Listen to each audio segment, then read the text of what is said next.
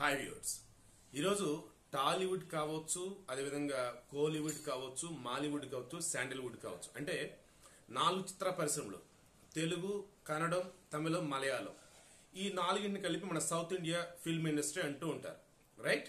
దీనికి సంబంధించి ఫోర్బ్స్ వాళ్ళు ఒక లిస్ట్ తీశారనమాట టాప్లో ఎవరున్నారు ఏంటి అని చెప్పేసి. దీనికి వాళ్ళు ఏమేమి బేస్ తీసుకున్నారంటే సోషల్ మీడియాలో వీళ్ళు ఎంత యాక్టివ్గా ఉంటారు సోషల్ మీడియాలో వీళ్ళు పెట్టే పోస్టులు లైక్లు ఎలా వస్తాయి షేర్లు ఎలా వస్తాయి ఏంటి? అందులో ట్విట్టర్ కావచ్చు ఫేస్బుక్ కావచ్చు ఇన్స్టాగ్రామ్ కావచ్చు లైక్ ఇలా డిఫరెంట్ డిఫరెంట్ ప్లాట్ఫామ్స్ అనమాట అలా చూస్తూ ఉంటే టాప్లో ఎవరున్న ఉంటారు మీరు చెప్పండి? మన తెలుగు నుంచి మహేష్ బాబు ఎన్టీఆర్ రామ్ చరణ్ అల్లు అర్జున్ ప్రభాస్ చిరంజీవి నాగార్జున బాలకృష్ణ వెంకటేష్ మోహన్ బాబు వీళ్ళెవ్వరూ కాదు. పోని కొత్తగా దుమ్ము లేపుతున్నటువంటి విజయ్ దేవరకొండ లేదన్నప్పుడు నేచర్ స్టార్గా అందరూ పిలుచుకునే నాని వీళ్ళెవరూ కాదు. మరి ఎవరు? చెప్తా. ఇక తమిళ తమిళంకు వద్దాం సూపర్ స్టార్ రజనీకాంత్ కాదు. కాదు అనగా తర్వాత చెప్తాను కదా okay right.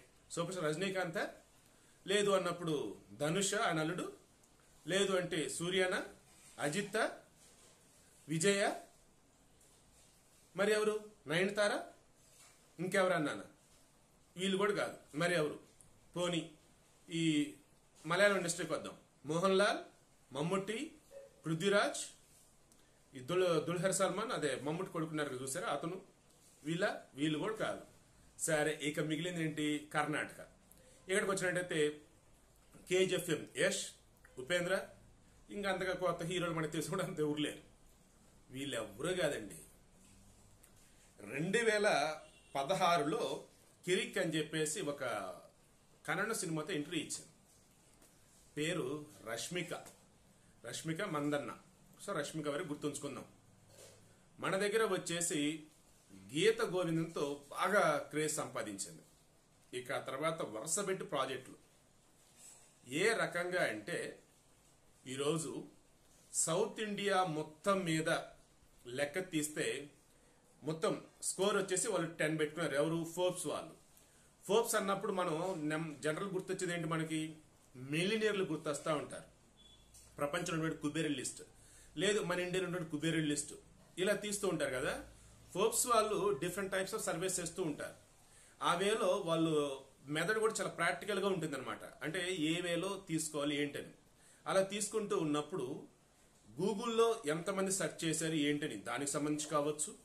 వాళ్ళు పెట్టే పోస్టుల గురించి ఎంతమంది వెయిట్ చేస్తూ ఉన్నారని పెట్టగానే ఎన్ని లైక్స్ వస్తుంది ఫస్ట్ అవర్లో ఎంత వస్తుంది సెకండ్ అవర్లో ఎంత వస్తుంది లైక్ ఈవేలో కావచ్చు. అండ్ వాళ్ళు ఒక పోస్ట్ కానీ పెడితే కమర్షియల్ దానికి ఏ రేంజ్లో పబ్లిసిటీ వస్తుంది? అది కావచ్చు. బయట యాడ్స్లో ఏ రేంజ్లో నటిస్తున్నారు కావచ్చు. అండ్ ఎన్ని లాంగ్వేజ్లో వీళ్ళు నటిస్తున్నారు ఆ వేలో కావచ్చు. అన్ని కన్సిడర్ చేశారు వాళ్ళు. గతంలో చూసుకుంటున్నప్పుడు నేషనల్ క్రష్గా కూడా ఈ పిల్లే ఉంది. ఎవరు రష్మికానే ఉంది. ఆ ఇప్పుడు రష్మి వచ్చేసి out of ten she got తొమ్మిది పాయింట్ ఎనిమిది ఎనిమిది పాయింట్లు అనమాట తొమ్మిది పాయింట్ ఎనిమిది ఎనిమిది పాయింట్లు సాధించి అసలు ఎవరికి అందరం ఎత్తులో ఉంది. South industry south film industry మొత్తం మీద. సో ఇప్పటికే ఆమె తెలుగులోను త- తమిళంలోను కన్నడలో నటిస్తుంది. అండ్ త్వరలో బాలీవుడ్లో కూడా నటించబోతా ఉంది. Mission Majnu and good bye అనే సినిమాలతో కూడా నటించబోతా ఉంది. ఈ వేలో. ఆమె తర్వాత ప్లేసెస్ ఎవరో ఉన్నారు ఏంటి అని చూసినప్పుడు సమంత కూడా దుమ్ము దులిపేసింది అనమాట సరే ఈమైతే తొమ్మిది పాయింట్ ఎనిమిది ఎనిమిది కదా? ఇక ఆ తర్వాత మన అర్జున్ రెడ్డి మన విజయ్ దేవరకొండ ఉన్నాడు. ఓ రేంజ్లో అనమాట ఎందుకంటే ఇప్పుడు లైగర్ మూవీ ఉంది కదా పూరి జగన్నాథ్ వాళ్ళ మూవీ దాంతో బాలీవుడ్ కూడా భయంకరమైన క్రేజ్ వచ్చేసింది. అండ్ గతంలో ఇతను ఏవైతే సినిమాల్లో తెలుగులో యాక్ట్ చేస్తున్నాడో అవన్నీ కూడా హిందీలో డబ్ చేసి వదిలేశారు. యూట్యూబ్లో దుమ్ము దులిపేసినాయి అవి కూడా. దాంతో విజయ్ దేవరకొండ క్రేజ్ కూడా అమాంతం పెరిగింది. తొమ్మిది పాయింట్ ఆరు ఏడుతో విజయ్ దేవరకొండ సెకండ్ ప్లేస్లో ఉన్నాడు. ఇక ఆ తర్వాత కేజీఎఫ్తో సంచలనం సృష్టించాడు యష్. సో పాన్ ఇండియా మూవీగా రికార్డులు క్రియేట్ చేసింది ప్రజెంట్ అక్రాస్ నేషన్స్. సో ఈ ఈ ఈ యష్ వచ్చేటప్పటికి తొమ్మిది పాయింట్ ఐదు నాలుగు పాయింట్లతో థర్డ్ ప్లేస్లో ఉన్నాడు. ఇక ఆ తర్వాత సమంత అండి. సమంతకి విడాకుల తర్వాత ఆఫర్లు తగ్గుతాయని క్రేజ్ పడిపోతాయని చాలా మంది పుకార్లు లేపుతా ఉన్నారు. కానీ మీరు అబ్జర్వ్ కనుక చేసినట్టయితే లేడీ ఓరియంటెడ్ మూవీస్ కావచ్చు అండ్ ర్యాంకింగ్స్ వైజ్ కావచ్చు ఎటు నుంచి అట్లా తీసుకున్నా సరే సమంత క్రేజ్ పెరిగిపోతూనే ఉంది. ఇది విడాకుల తర్వాత కూడా. సో విడాకుల మన డిస్కషన్ వద్దు. ఓకే? సమంత వచ్చినప్పటికి ఇక్కడ తొమ్మిది పాయింట్ నాలుగు తొమ్మిది పాయింట్లతో నాలుగో ప్లేస్లో ఉంది. ఇక ఆ తర్వాత స్టైలిష్ స్టార్. మన తెలుగులో ఎంతమంది అయితే అభిమానులు ఉన్నారో మలయాళంలో కూడా అంతమంది అభిమానులు ఉన్నారు. ఎవరికి? అల్లు అర్జున్కి. ఇప్పుడు ఐకాన్ స్టార్ ఏదో పేరు మార్చుకున్నట్టున్నారు వాళ్ళు. సరే ఆయనకి ఎన్ని పాయింట్లు? తొమ్మిది పాయింట్ నాలుగు ఆరు పాయింట్లు. ఇదేంటండి? ఈ ఆల్మోస్ట్ మన తెలుగు వల్ల కనిపిస్తున్నారు ఏంటంటే మీరు అంటారేమో. నిజంగానే టాప్ టెన్ లిస్ట్ కానీ తీస్తే ఎక్కువ మంది మన టాలీవుడ్ వాళ్ళే ఉన్నారు. అది మన టాలీవుడ్ యొక్క గ్రేట్నెస్ ఇక ఆ వేళ కనుక చూస్తే అల్లు అర్జున్ తర్వాత ఈ దుల్కర్ సల్మాన్ ఈ మమ్మటి కొడుకు ఎవరైతే ఉన్నారో అతను తొమ్మిది పాయింట్ నాలుగు రెండు పాయింట్లతో అతను ఉన్నాడు అనమాట ఇక ఆ తర్వాత కనుక చూసుకుంటూ ఉన్నట్టయితే one by one one by one చూసుకున్నా సరే చాలా వేరుగానే ఉన్నట్టున్నారండి. మన ప్రభాస్ వచ్చేసరికేమో తొమ్మిది పాయింట్ నాలుగు ఉన్నాడు.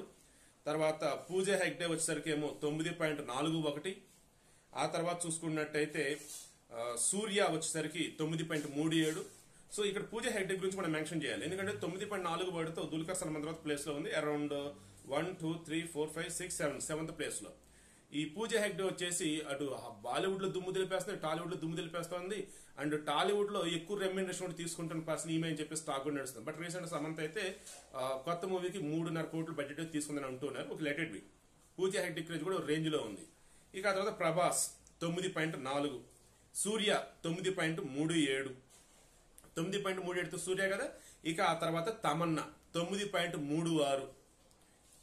సో తమన్నా తర్వాత ఇంకెవరున్నారు? మహేష్ బాబు. తొమ్మిది పాయింట్ మూడు నాలుగు. చూడండి. ఇప్పటివరకు మన టాలీవుడ్లో టాప్ అన్నప్పుడు ఎవరిని చెప్తాం? మన మహేష్ బాబుని ఎన్టీఆర్ని రామ్ చరణ్ ఇలా చెప్తాం కదా? వీళ్ళ పేర్లు ఎక్కడ రాదు చూడండి. అల్లు అర్జున్ వచ్చేసి అండ్ విజయ్ దేవరకొండ వచ్చేసి ఎక్కడో ఉన్నారు. అంటే మన సొసైటీలో యాక్సెప్టెన్స్ ఎలా ఉంటుంది? అండ్ సోషల్ మీడియాలో యాక్సెప్టెన్స్ ఎలా ఉంటుంది? ఈ డిఫరెన్స్ అన్నమాట ఇది. సో మహేష్ బాబు వచ్చేసి తొమ్మిది పాయింట్ మూడు నాలుగు. ఆ తర్వాత రామ్ చరణ్ తొమ్మిది పాయింట్ మూడు మూడు. ఆ తర్వాత ధనుష్. తమిళం వాళ్ళు వచ్చేసి ఎవరన్నా వచ్చారు ఇప్పుడు వరకు అంటే ఒకళ్ళు రాల. ఇదిగో ఇప్పుడు ధనుష్ సారీ సూర్య వచ్చాడు కదా.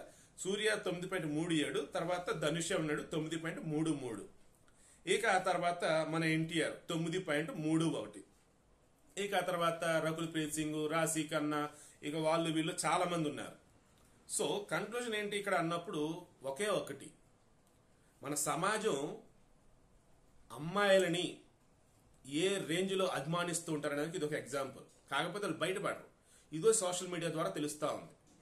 ఎందుకు ప్రతి యాడ్లో కూడా హీరోయిన్లు కనిపిస్తారా ఏంటంటే ఇదిగో ఇదే. మగవాళ్ళ అండర్వేర్లు మ్యాచ్ సమయం ఉండే. దానికి సంబంధించి కూడా వీళ్ళనే చూపిస్తూ ఉంటే ఇక వీళ్ళ క్రేజ్ ఎందుకు పెరగదు చెప్పండి? అండ్ ఎనీవే విడాకుల తర్వాత సమంత క్రేజ్ అమాంత పెరుగుతూనే ఉంది. రష్మికి వచ్చేసి తక్కువ వయసులోనే అండ్ సినీ ఇండస్ట్రీకి వచ్చినటువంటి కొద్ది కాలంలోనే ఓ రేంజ్లో దూసుకెళ్ళిపోతా దూసుకెళ్ళిపోతా ఉంది సౌత్ ఇండియాలో. So congratulations to Rashmika and Vijay Deverakonda Samantha and Allu Arjun of course remaining వాళ్ళకు కూడా.